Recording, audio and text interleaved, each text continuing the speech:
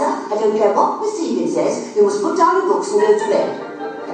Bed, bed, I couldn't go to bed. My head's too light to try to set it down. Sleep, sleep, I couldn't sleep tonight. Not for all.